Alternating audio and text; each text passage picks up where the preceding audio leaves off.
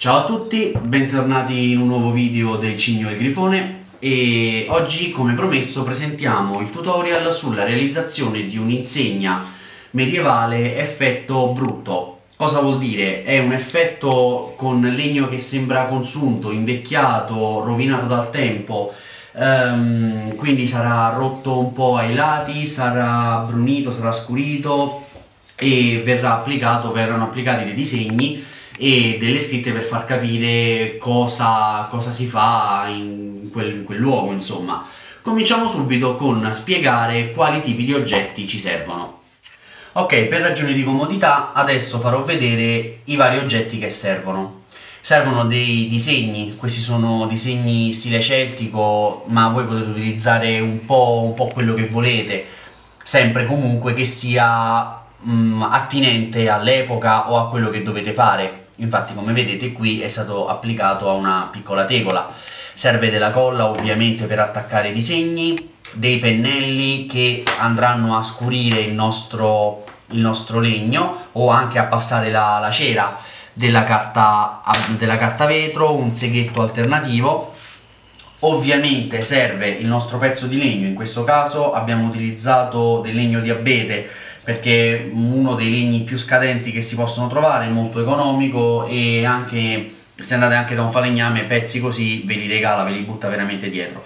Della corda ma potete utilizzare anche una catenella per fare qualcosa di un po' più, un po più ricercato una um, raspa per legno per rendere ancora più brutto vedete in questo caso qui come, è, uh, come lo ha reso smangiato il legno. Questo ci darà un effetto ancora più ancora più consumato.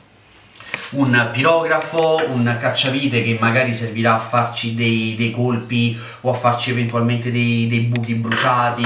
Serve anche del caffè, questo è caffè appena fatto che viene utilizzato per scurire il legno o eventualmente è una maniera diversa che mostreremo brunirlo sul fuoco. In questo caso si avrà un effetto molto più eh, drastico, molto più drammatico perché ovviamente il fuoco tenderà a scurire e a eh, creare anche degli avvallamenti come se il tempo lo avesse consumato, avesse rovinato il nostro, il nostro prodotto. Bene, abbiamo tutti i pezzi, ora cominciamo a vedere come procedere con il nostro progetto. Andremo a imbruttire tutti i lati, quindi i lati corti andranno rotti e i lati lunghi andranno eh, smangiati, grattati con una lima o con, o con un coltello per esempio.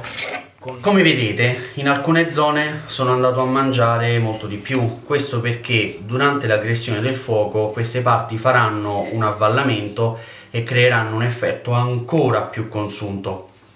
Se vedete in, questo, in questa parte sono stati fatti dei segni senza, senza una grande precisione perché con il nostro seghetto alternativo andremo a tagliare il legno come se fosse rotto potremmo, andar, potremmo anche romperlo con un martello, con, um, con, con, con qualsiasi cosa, ma uh, siccome questi legni sono tante tavole incollate l'una sull'altra, rischieremo di rompere delle sezioni molto precise e quindi non avere l'effetto rotto. In questo caso invece utilizziamo il nostro seghetto, se non abbiamo un seghetto possiamo utilizzare un segaccio a mano, andando a creare delle, degli avvallamenti, delle V, qualsiasi cosa che possa ricordare una, una rottura. Ovviamente, siccome l'effetto deve essere molto brutto, non dobbiamo essere così precisi. Adesso utilizziamo il seghetto per creare tutti i tagli che renderanno l'effetto rottura. Come dicevo, se non avete il seghetto potete utilizzare anche un segaccio a mano, ci vuole solamente un pochino più di tempo.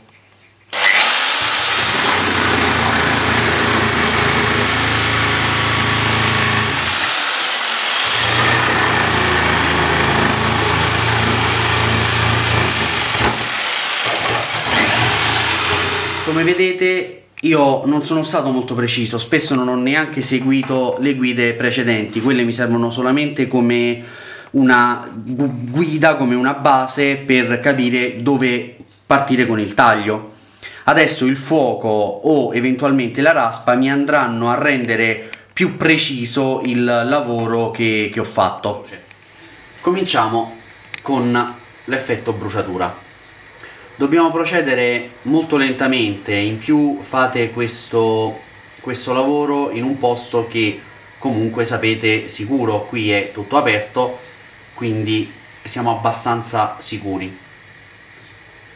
Come vedete il fuoco tenderà a um, bruciare i bordi, quindi andrà a um, rendere più brutto, eliminare determinati difetti di taglio che abbiamo fatto in precedenza. Come vedete il legno è diventato molto scuro, dopo verrà passato con un po' di carta abrasiva o con una levigatrice, con un orbitale in base a quello che avete per eliminare la polvere, i residui di, di carbone che si sono creati sul legno e far sì che il disegno che voi andate ad, applicare dopo rimanga in rilievo o se andate a utilizzare il pirografo che non vada a camuffarsi con tutto il legno bruciato che c'è sotto. Continuiamo così fino a coprire tutta la tavola. La prima parte della bruciatura è finita, infatti vedete com'è diventato scuro il nostro legno a differenza della parte opposta questo adesso deve essere tutto carteggiato per fargli avere come dicevo prima una colorazione molto più eh, leggera altrimenti il disegno non, non si vedrebbe.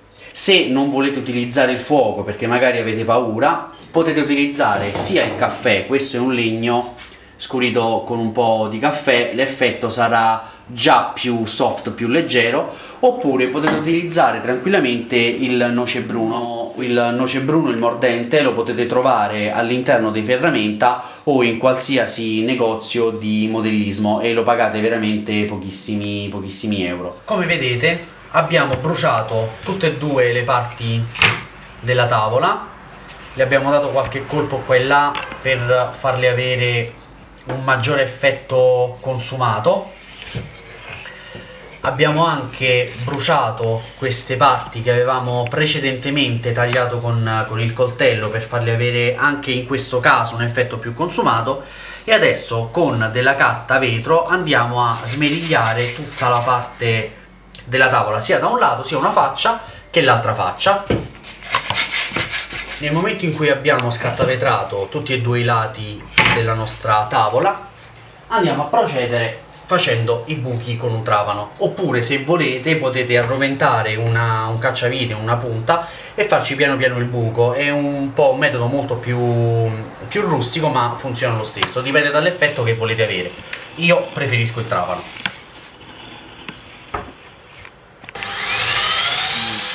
una volta fatti i buchi andiamo ad applicarci semplicemente una corda o una catenella in questo caso abbiamo intrecciato, intrecciato una corda e l'abbiamo legata.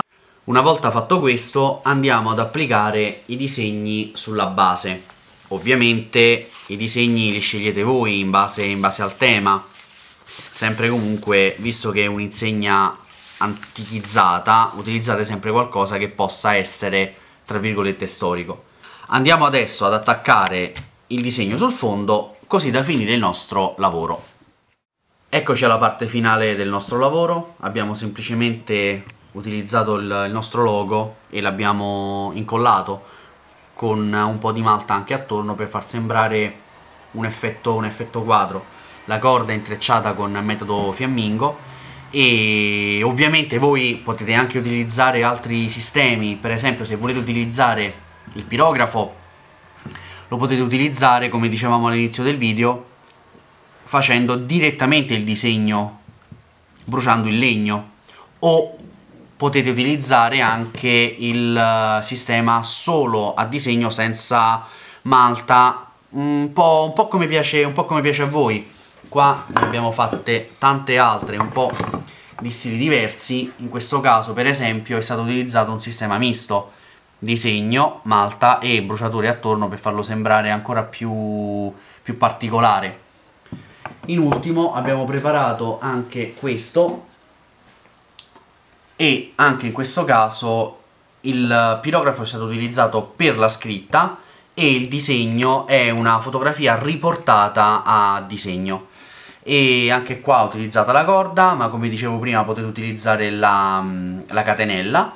E per il resto spero... come sempre condividete mettete un like commentate fate quello che volete un grazie e alla prossima